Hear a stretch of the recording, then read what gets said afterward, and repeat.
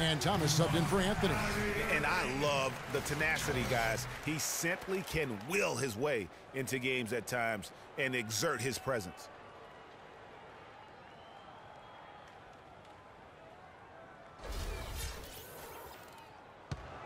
Shumpert with the steal.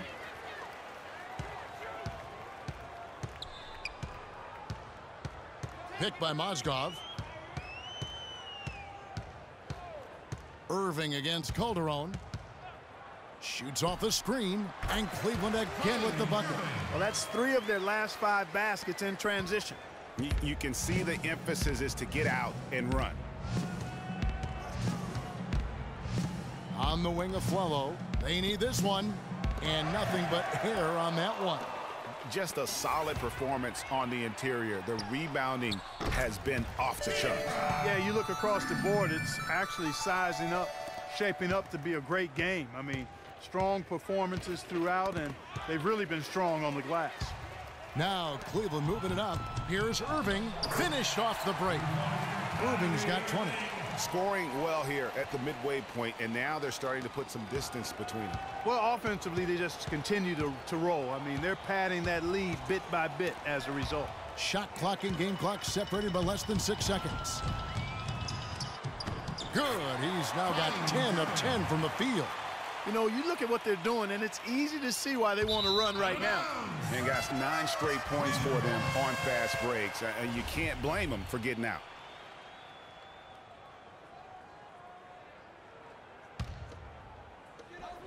There's 18 seconds left to play here in the half. And yes, sir, that one drops. And he's starting to show that killer instinct this quarter, looking to extend the lead.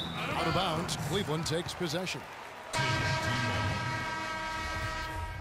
Substitution for the Knicks. Tony Wroten. Long range from the inbound.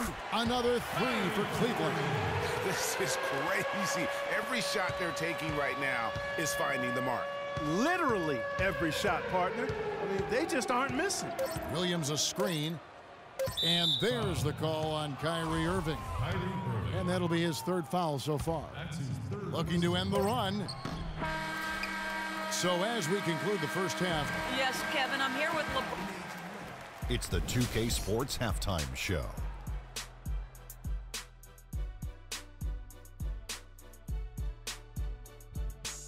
Well, two quarters down, two to go. Welcome back, Ernie Johnson, Shaquille O'Neal, and Kenny the Jet Smith as we start breaking it down for you. What a game it's been for Kyrie Irving. He had 27 points, two steals, and one rebound. And that's going to do it for now as the second half is almost ready to get started. Back to Kevin Harlan and the rest of the 2K Sports crew. We're going to sit right here and wait for the end of the game and talk at you again.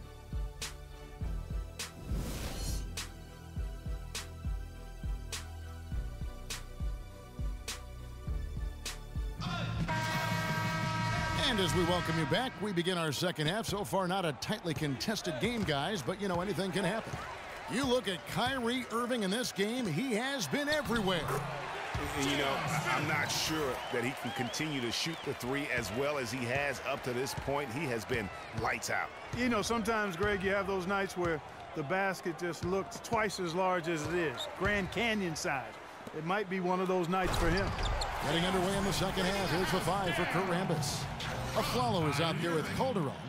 Then it's Anthony. Then there's Robin Lopez. And it's Porzingis in at the four slot. Here's New York. Well, safe to say that J.R. Smith has never been short on confidence, Clark, his right. entire career. Yeah, he's always been a guy who could actually play with confidence and back it up. When he's hot from the floor, he can take over games single-handedly. Mm-hmm. Foul call that time on the way up. That'll give him two chances at the free throw line here. That's his first. And for Smith and his confidence, last year even he said he's on pace to be one of the best shooters the game has ever seen. So obviously not lacking in belief in his ability.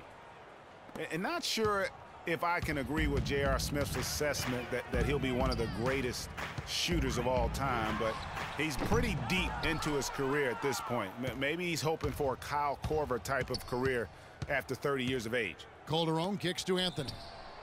And that misses badly. Air ball. For Cleveland, they've gone 2 of 4 here to start the second half. From deep. Thompson misses. And sometimes we all just want to show people that we have the range. yeah, you're speaking from experience? We already know how good his range is. Um, he shouldn't be firing from that deep, though. Mm-hmm.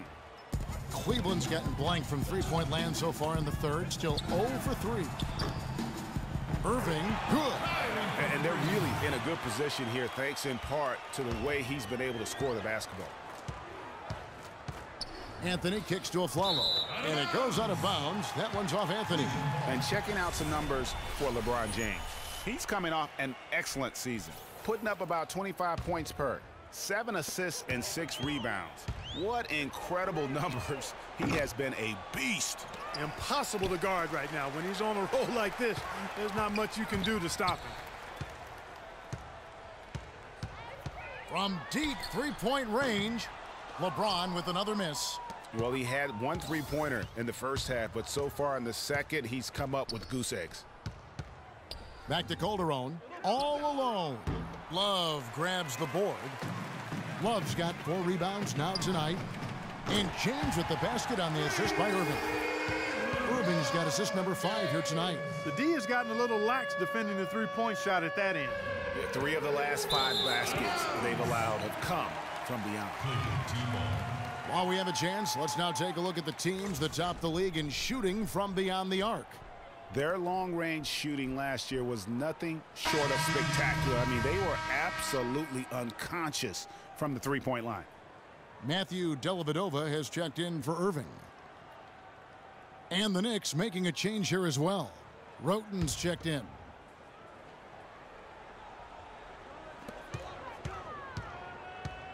Smith outside.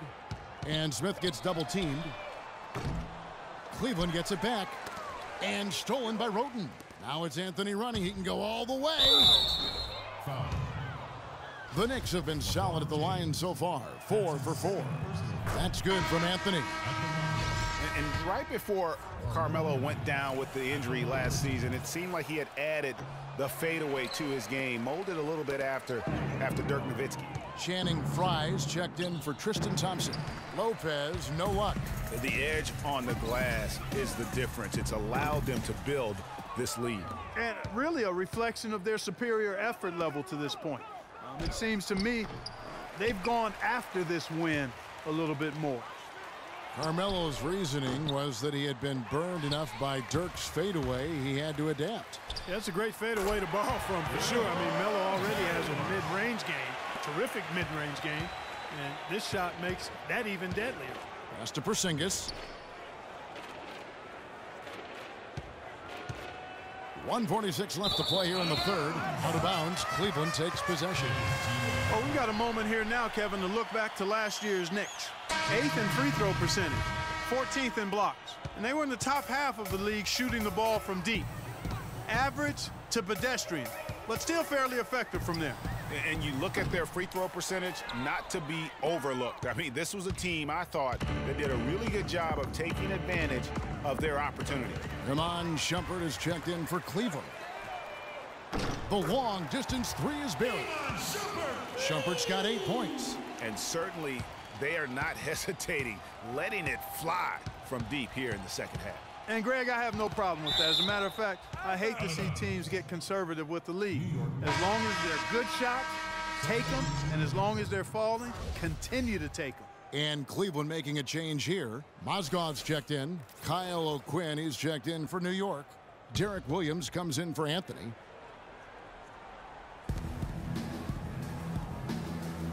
Williams against James. And that's going to be too many steps. Gets the whistle on the travel. All right, a moment now to see the numbers for Iman Shumpert. Last season's performance for him averaged about eight points a game last season. Three rebounds and two assists. Oh, look out, and then you throw up stuff like that.